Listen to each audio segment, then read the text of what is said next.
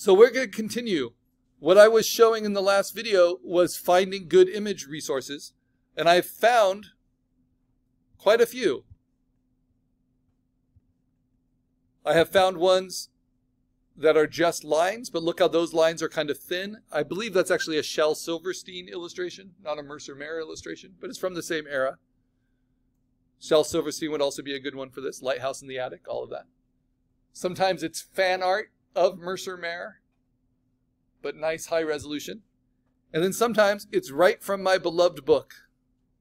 Ah, such happy memories.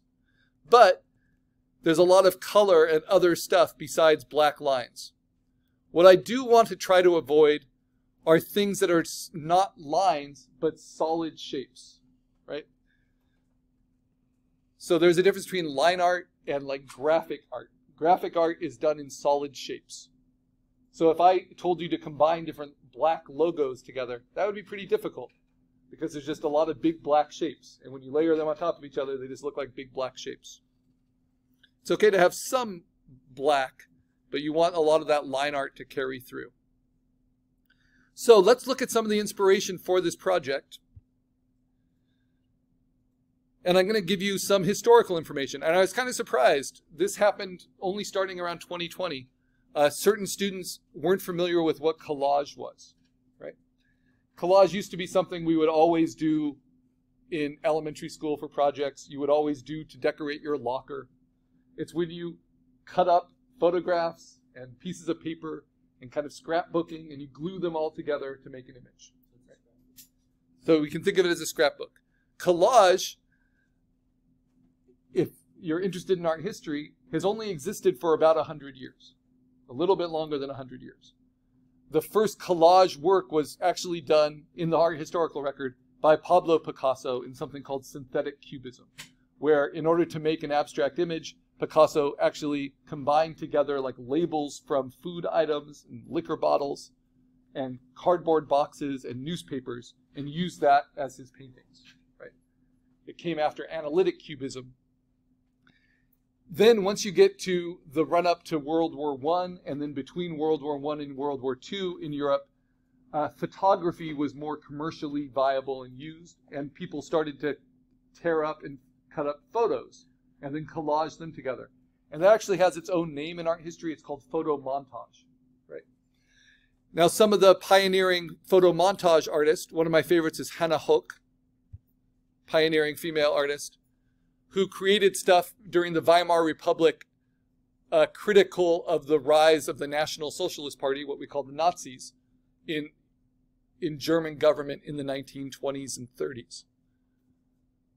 and some of her works were really about critiquing that, like her most famous piece, this one, cut with the Dada kitchen knife through the last Weimar beer belly cultural epoch in Germany which is using a combination of newspaper text and photographs from newspapers, all black and white because color reproduction wasn't a viable uh, commercial product in the 1930s. It was far too expensive.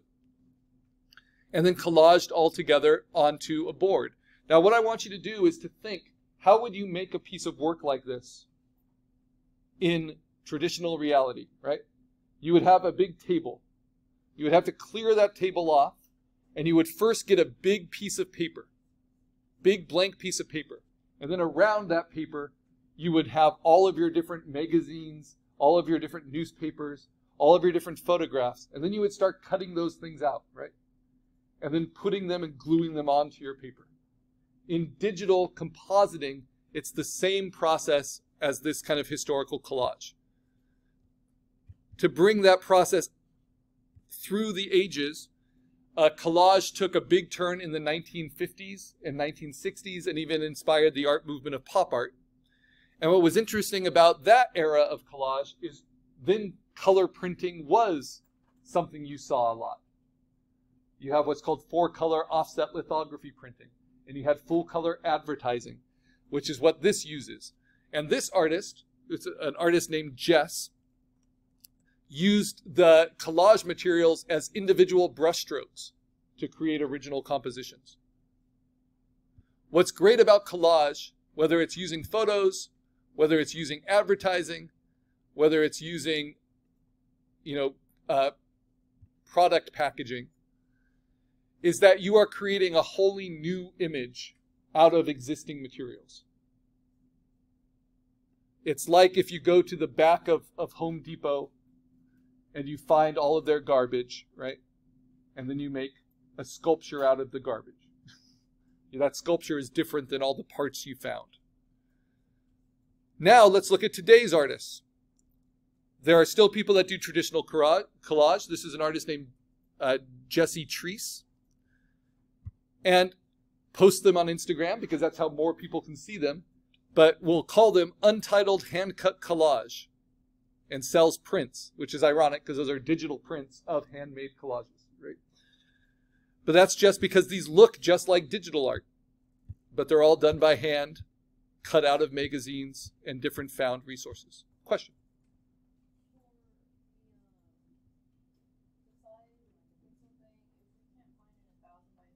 Mm-hmm. If it's close, then it's close. That will work. Yes. So, collage or photo montage. This is the traditional version of what we're calling compositing in the digital age. Sometimes they're called paste ups too. Let's look at how they're used. This kind of technique of the line art jumble is used in culture. It's inspired by an artist I like named Arturo Herrera. And I saw Arturo Herrera's work uh, in LA when I was a college student in the 1990s. And he was born in Venezuela. He mostly works out of Chicago. He does show in San Antonio through Artpace in Ruby City. And what his work, especially his early work that I fell in love with, mostly consists of, like this one from 2004, it's painted cut paper on board. Uh, it is 23 inches by 16 and a quarter inches, and it is valued between $30,000 and $40,000. So it's it's out of my price range. I don't own any Arturo Herrera work. But I'll show you what I liked about it when I first saw it in LA. I saw a show at the LA Armory of really large murals. I'm just zooming in so you can see it, uh, but it's in the assignment that looked like this. So this is actually not cut paper. And I don't know if it's an exact image of it, of the one I saw, but what it was was colored felt that was cut out into line art and then hung on the wall. And this one was about 17 feet tall.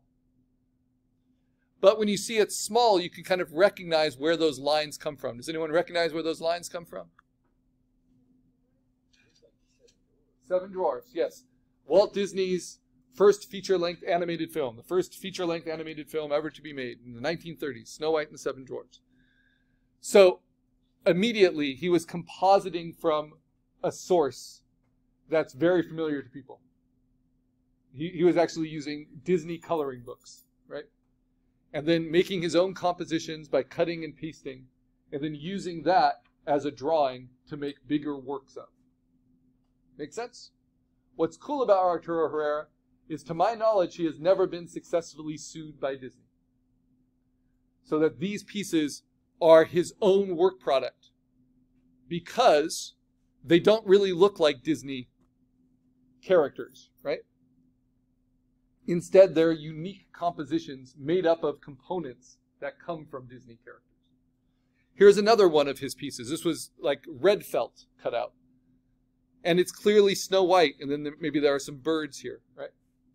But he subverts the image by doing this kind of abstract expressionist drip line art, covering up very notably the eyes, the face, the silhouette of the hair, all the things that are copyrightable about character design, and turning it into his own image. And then I'm going to show you some past student work, because you might use these skills again in your future careers. So this is by a student named Angela Wally. I, I, give you links to all the artists I show in assignments so you can kind of see. Uh, Mark and Angela were both students of mine. They are in a band called Dreamboard, a San Antonio band. And when they wanted to make t-shirts for their band, they used this method. They did a line drawing of each other. And I don't know if it's Mark's drawings or Angie's drawings, but then they duplicated it in the computer, overlaid it deleted, you know, made it into a line art jumble for their first t-shirt. So you get to arrange these any way you like, but they do not need to be recognizable at the end. What they need to do is be an interesting image to you. So I'm going to show you how we can put all these different high quality references into a file that we can start working on, just like you would bring collage elements and put them around on your big piece of paper. But then it's up to you to kind of cut and arrange them into a shape you think is interesting, whether that's with symmetry or not. I like them best when they're free floating, and you'll see a lot of that where there's nothing overlapping the edge.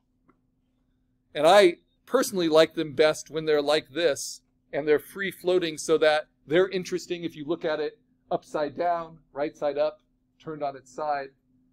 It's just a collection of interesting bobbles and lines. Because that gives you the most freedom for, for your expression. So I'm a little bit more partial to this approach than to this approach, but both fit the requirements. All right. So we can follow along step by step here in the exercises. This is kind of a nice stand-in along with the videos for how to do it if you have to do it at home. But you guys get to keep trying and ask questions right now in class. Always important to come. So we're going to use this program called Photopea. It's linked right here in the instructions, but you can also just type in. I'm going to put it into a new window because this browser is getting a little heavy. You can always just type photopea.com. You are not required to create an account, to log in, to do anything like that. But if you do decide to, you just link it to an email. It's free and they don't send you a lot of stuff, at least not in my experience. And the one advantage of logging in is it will save your current work in its website's memory. But that is not a substitute for saving it in two places yourself. Because website servers, who knows? But what I'm going to do is go to photopea.com. I haven't logged in. I haven't done anything. What I'm going to do is I'm going to open from my computer. And to open from my computer, I need to go to my desktop and I need to find the image that I like best of those image sources that I found. And I have one, two, three, four, five, six of them. As long as you have five. And I'm going to say that the one I like best is this one. This monster head. Okay, now that I have that open, we have our first look at what a raster imaging program is. This is a clone of Photoshop. All the functionality we do here, we can also do in Adobe Photoshop. We can work interchangeably between the two. So the first thing I'll notice is in the bottom left-hand corner, if you don't see anything in the bottom left-hand corner, what I want you to do is hit Command R. When you hit Command R, it will turn on your rulers. And your rulers will show you your pixel dimensions. And just like in a Google image search, it will tell me that this image is 1,138 pixels by 1,600 pixels. Now that's all well and good. That's a high quality image. But it is not big enough to be my, my artboard. So remember when we were talking about collage, I think I closed it. But what I need is the artboard. I'll open this one up again. Hannah Höch. From my native land of Germany. So what I need is to set up this piece of paper that I'm going to glue all of my pieces to. Right? That's what's called the artboard. Or sometimes called the, the picture space and it needs to have enough pixels that it can accommodate all of them at high resolution. You are going to need to learn this, and you will learn it over and over again on assignments. The smallest you are allowed to do a project for this class, exercise or assignment, and still meet requirements is physical dimensions of 8 by 10 inches at 300 pixels per inch. So what does that mean? Your image needs to be bigger than a thousand by a thousand pixels when it's done.